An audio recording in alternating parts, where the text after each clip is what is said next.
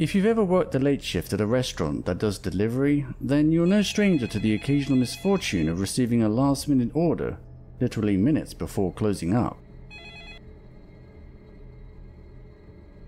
I did try to hint that it was going to be a big inconvenience, especially since the address was quite far away, but the guy on the phone just ignored my attempts to convince him to call another pizzeria or wait until the next day.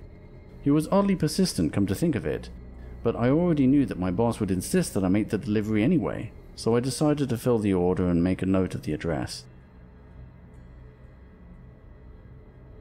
It was only after adding the location to the GPS on my phone that I realized just how remote the address was, and I was already beginning to regret not hanging up the phone when I had the chance. To be honest, it wasn't really the long drive that bothered me so much, but the location. There was an old Blockbuster store up ahead that had been closed for around a decade now. One of the last, I think, and I still remember going there on my bike as a kid. Never go beyond the Blockbuster, my mum used to tell me, although she never said why, but I guess she didn't really have to.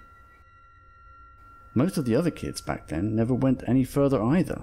Of course, we all heard stories, but I guess I always figured it was just a bunch of farmers trying to keep kids off their property.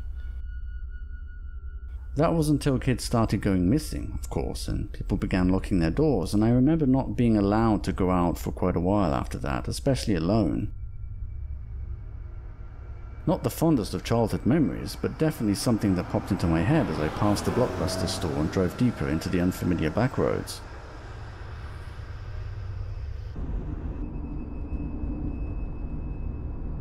One of the things I really hate about GPS is that it makes us feel a bit too confident about driving to an area that we aren't familiar with and would probably otherwise avoid, especially at night.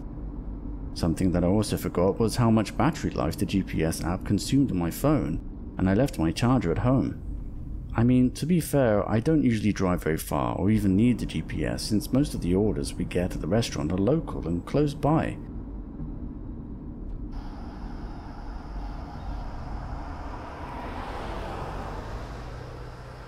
After about 30 minutes of navigating the tricky dirt roads and driving past some farmland, I eventually reached the destination, which turned out to be an old house that looked like it had been abandoned. The ground was still wet and muddy from all the rain we had the night before, and the location was just generally a very unpleasant place to be. I started to wonder if it was the right address, but according to the GPS, it was correct. Plus, it was the end of the road, and there wasn't much point in trying to phone the pizzeria, because everyone had already gone home by then.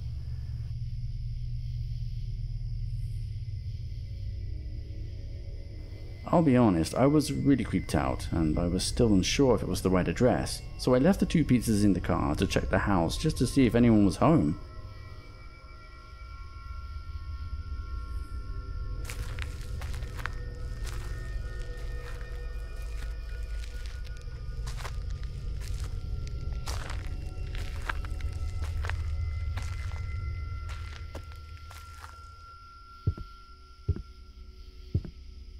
As I approached the house, I noticed a note on the door. What struck me as odd at first is why these instructions weren't given to me over the phone. It seemed like an odd thing to leave out, and I'd never been asked to deliver a pizza to a vehicle before. In a weird way, it did confirm that I was at the right address, but at the same time, I got a strange feeling that I wasn't where I was supposed to be.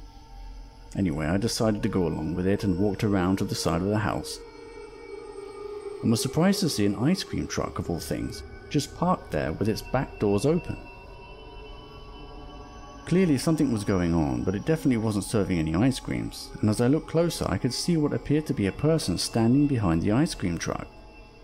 I'm really glad that I hesitated in making my presence known because what I witnessed next is something that still terrifies me.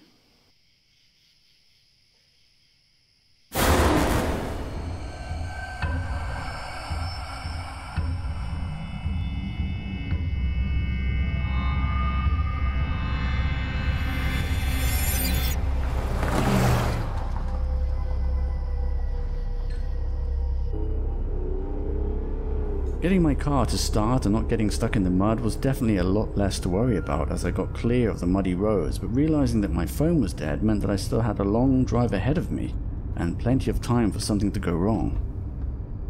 At some point, it seemed like the worst was behind me, but this was far from the truth as I realized that I was being followed.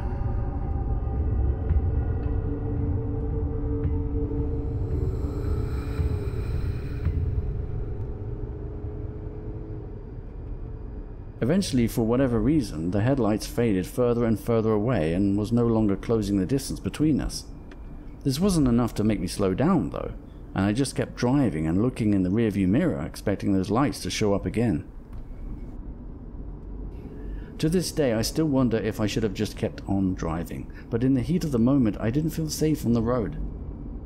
I couldn't help but wonder if anyone saw me and why the ice cream truck started its engines. With the combination of the dark road and glaring headlights, I couldn't be sure if it was the ice cream truck that I saw in the rearview mirror, so I parked my car behind the old Blockbuster building and just waited there for a while.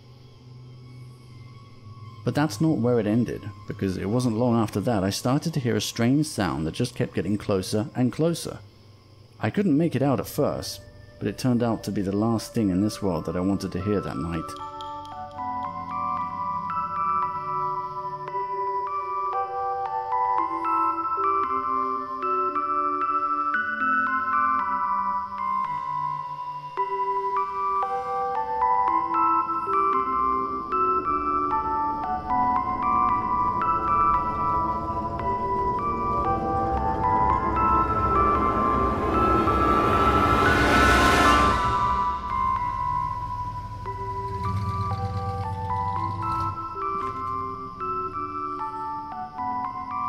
Luckily, the sound of the ice cream truck did begin to fade away into the distance, and after waiting a little while longer, I finally racked up the courage to get back on the road and drive into town.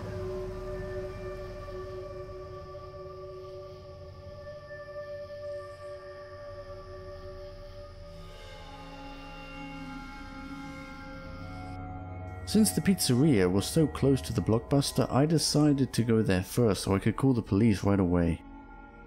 Unsurprisingly, they didn't seem very enthusiastic about looking for an ice cream truck in the middle of the night, although the police were aware of the house and went on to tell me that it had been abandoned for years. Apparently, it had become quite the hotspot for squatters and crime and advised me to stay clear of the area. It took me a while to start feeling at ease about working the late shifts again after that, but I'll definitely be a lot more careful when making any last minute deliveries in the future and from now on, if it's too far away, I'll just hang up the phone and tell my boss it was a wrong number.